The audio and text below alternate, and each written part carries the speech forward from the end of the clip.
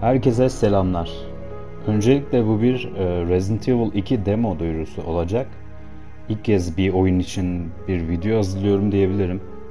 E, geçtiğimiz günlerde Capcom oyunun demosunu duyurdu. 11 Ocak'ta PlayStation Store, Microsoft Store ve Steam üzerinden indirebileceğiz.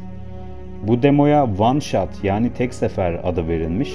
Bunu demelerinin sebebi bizlere yalnızca 30 dakikalık bir oynanış sunacak olması.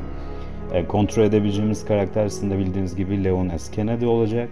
Raccoon City polis departmanında hayatta kal- kalma e, serüvenimiz başlayacak ve ölsek dahi kaldığımız yerden devam edebileceğiz. Fakat e, bu 30 dakika içerisinde demoyu tamamlayamazsak bir daha bize demoyu oynama imkanı sunmayacak. E, demoyu bitirdiğimiz takdirde ise tekrardan oynayabilecek aynı görevi tekrar bitirmek için bu 30 dakikalık döngü içerisine girmiş olacağız.